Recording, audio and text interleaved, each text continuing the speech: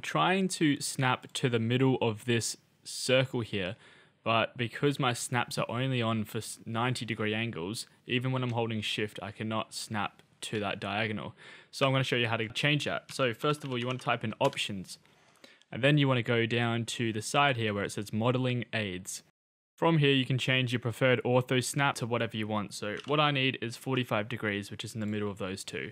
Now when I go to use this point, I can now snap to the middle of those points, holding shift.